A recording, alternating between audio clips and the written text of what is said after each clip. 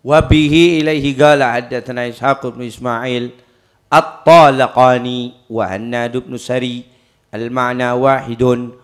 Qala Ishaq akhbarana Abdatu ibnu Sulaiman an ibni Abi Arubah an Qatadah an Azrah an Sa'id ibn Jubair an ibni Abbas radhiyallahu taala anhuma anna Nabiya sallallahu alaihi wasallam sesungguhnya Nabi sami'a rajulan dia mendengar seorang laki yaqulu yang mana seorang laki itu mengatakan labbaika an subrumata labbaika labbaik.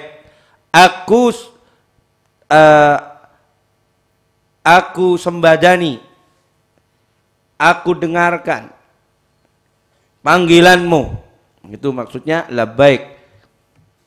An subrumata untuk subrumah Artinya Nabi SAW mendengar seseorang berniat ihram untuk orang lain bernama Syubrumah. Itu maksudnya. Yani labbaika ya Allah aku sambut panggilanmu. Yani aku berniat ihram. Entah itu ihram haji atau ihram umrah. Allahu alam yang penting Nabi mendengar seseorang berniat ihram untuk orang lain bernama Syubrumah. Qala man syubrumah maka Nabi mengatakan siapa syubrumah itu? Kemudian qala lelaki itu menjawab akhulli saudaraku ya Rasulullah. Au atau orang tersebut mengatakan qaribun li keluarga saya ya Rasulullah. Qala Kemudian Nabi SAW bersabda, Hajat ta'an nafsik. Apakah engkau telah haji untuk dirimu sendiri? Qala la. Kemudian orang tersebut mengatakan tidak.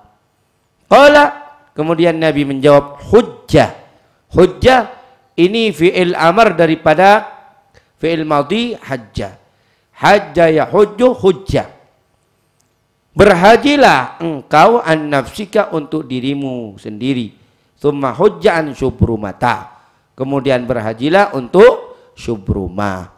Jadi syaratnya orang bisa membadali orang lain, dirinya harus melakukan haji terlebih dahulu.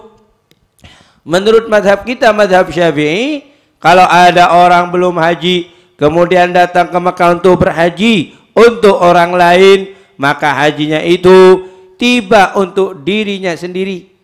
Menjadi haji dirinya sendiri.